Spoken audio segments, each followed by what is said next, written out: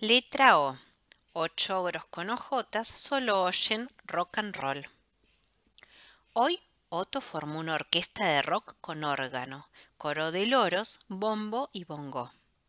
Orson cocinó su obuco con orégano en el horno. Orco solo se ocupó de su ombligo, lo lavó.